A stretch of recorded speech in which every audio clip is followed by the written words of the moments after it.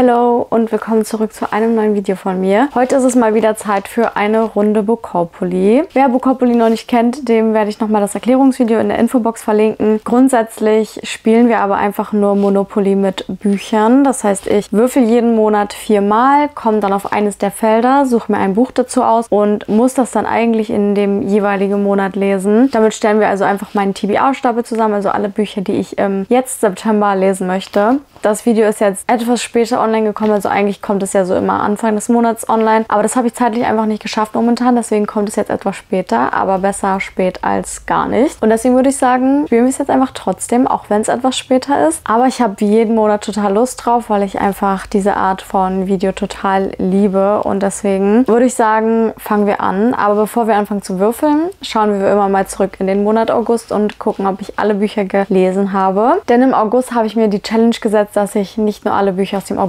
lese, sondern auch alle Bücher aus dem Juli. Und das waren einige. Deswegen würde ich sagen, wir schnappen uns jetzt nochmal kurz die Liste und wir gehen alle Bücher durch, die ich mir da vorgenommen habe. Aus dem Juli hatten wir noch Verliebt in deine schönsten Seiten von Emily Henry. Das Buch habe ich gelesen. Dann hatten wir The Unhoneymooners. Das Buch habe ich auch gelesen.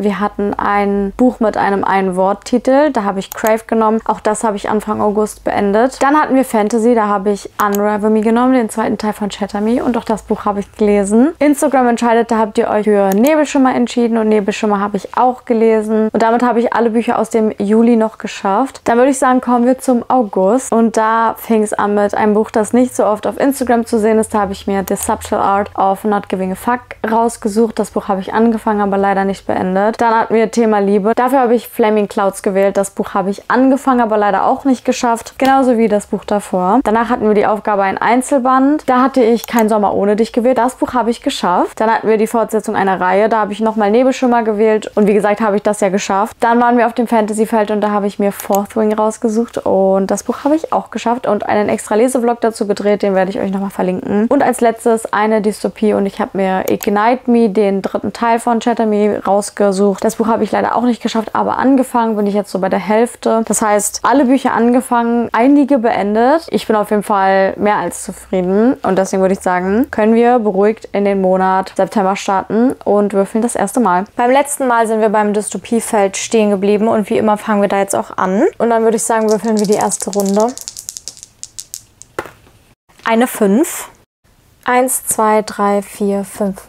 Ein Buch mit der Farbe Gelb im Cover. Das erste Feld, ein Buch mit der Farbe Gelb im Cover. Und da habe ich mir jetzt endlich ein Buch rausgesucht, was ich schon so lange lesen möchte, aber die ganze Zeit vor mir herschiebe. Und zwar Morgen, Morgen und wieder Morgen von Gabriele Sevin. Ich hoffe, den Namen habe ich jetzt einigermaßen richtig ausgesprochen. Das habe ich euch ja auch schon öfter mal gezeigt. Ich bin super, super gespannt drauf, habe so viel Gutes schon davon gehört und ich möchte es jetzt unbedingt bald lesen. Wahrscheinlich fange ich es auch schon als nächstes an, wenn ich mit den anderen Büchern fertig geworden bin, die ich gerade noch lese. Im Klappentext hat sogar John Green dazu geschrieben. Eines der besten Bücher, die ich je gelesen habe. Und ich habe schon von super vielen gehört, dass es einfach ein richtig krasses Jahreshighlight war. Manche fanden es auch nicht so gut, aber ich habe sehr, sehr viel Gutes gehört. Deswegen bin ich super gespannt. Der Klappentext lautet wie folgt. Mitte der 90er Jahre in Massachusetts. An einer U-Bahn-Station trifft Sadie, hochbegabte Informatikstudentin und angehende Designerin von Computerspielen, ihren früheren Super Mario-Partner Sam wieder. Die beiden beginnen gemeinsam an einem Spiel zu arbeiten und schnell zeigt sich, dass sie nicht nur auf freundschaftlicher, sondern auch auf kreativer kreativer Ebene ein gutes Team sind. Doch als ihr erstes gemeinsames Computerspiel zum Hit wird, brechen sich Rivalitäten Bahn, die alles zu bedrohen scheinen, was sie sich aufgebaut haben. Ein Jahrzehnte umspannender Roman über Popkultur und Kreativität, Wagnis und Scheitern, über Verlust und über die Magie der Freundschaft. Ich weiß nicht warum, aber mich spricht es einfach total an und dadurch, dass ich einfach schon so viel davon gehört habe und das vor allem im englischsprachigen Bereich super oft zu sehen war eigentlich, bin ich jetzt mega gespannt und ich hoffe, dass mir die Geschichte sehr gut gefallen wird. Bei dem Buch habe ich einfach so richtig Lust, das jetzt bald anzufangen.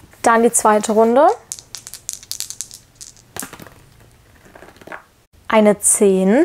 Dann fangen wir an. 1, 2, 3, 4, 5, 6, 7, 8, 9, 10. Ein Buch mit dem Thema Liebe.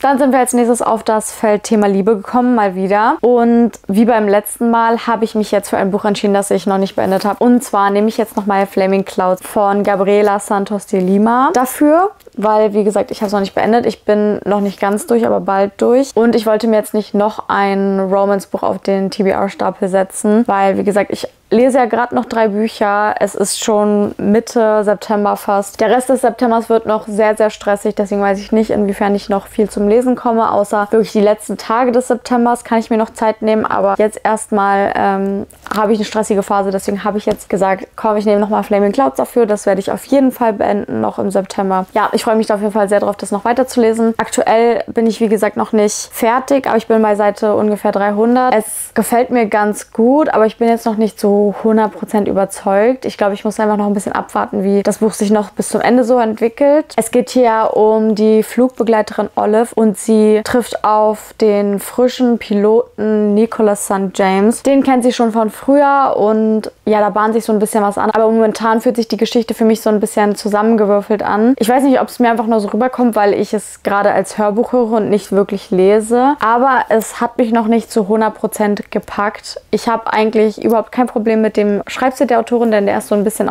poetischer und einige mochten das nicht so. Das finde ich eigentlich ganz gut, deswegen gebe ich da noch nicht auf. Vielleicht ist nur die Geschichte nicht ganz was für mich. Ich habe auf jeden Fall den zweiten Teil der Reihe auch noch da und ähm, ich werde auf jeden Fall weitermachen mit der Reihe. Ansonsten stehen die Chancen aber sehr gut, dass ich zumindest das Buch beende. Dann die dritte Runde.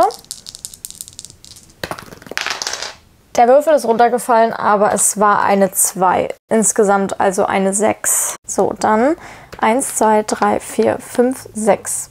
Instagram entscheidet. Als nächstes sind wir auf das Feld Instagram Entscheidet gekommen und ich liebe eigentlich dieses Feld, weil ich euch dann so ein bisschen mit in die Entscheidung einbinden kann. Deswegen, wenn ihr da mal Lust drauf habt, da mitzuentscheiden, dann folgt mir gerne auf Instagram. Denn immer wenn wir auf dieses Feld kommen, dann poste ich auf Instagram eine Story, gebe euch mindestens zwei Bücher zur Auswahl, manchmal waren es auch drei, zwischen denen ihr euch dann entscheiden könnt. Und das Buch, das dann am meisten Stimmen bekommt, werde ich dann in dem Monat lesen. Diesen Monat sah die Story so aus. Zur Auswahl stand einmal Cold Case Academy, der zweite Teil von Jennifer Lynn Barnes. Und ich habe den ersten Teil einer Fantasy-Reihe genommen, die ich auch schon eine Weile zu Hause habe, und zwar Wen der Rabe ruft. Im Endeffekt hat mit 67% Cold Case Academy, der zweite Teil von Jennifer Lynn Barnes, gewonnen. Und damit werde ich dieses Buch auch lesen. Um ehrlich zu sein, habe ich sehr Lust auf beide Bücher gehabt, aber ich wollte eigentlich zuerst dieses Buch lesen. Also ich wollte, dass das Buch gewinnt, weil das nämlich ein Rezensionsexemplar ist und das möchte ich dann sowieso ganz bald lesen. Wie gesagt, es ist der zweite Teil. Ich werde euch hier deswegen nicht mehr den Klappentext vorlesen. Den ersten Teil habe ich erst vor kurzem gelesen, also es ist noch nicht so lange her. Und es geht ja in diesem Buch um Cassie, die Menschen lesen kann wie ein Buch und sie wird eingeladen zu so einer Academy zu gehen, wo halt eben Profiler ausgebildet werden und dann ging es so ein bisschen um Fälle und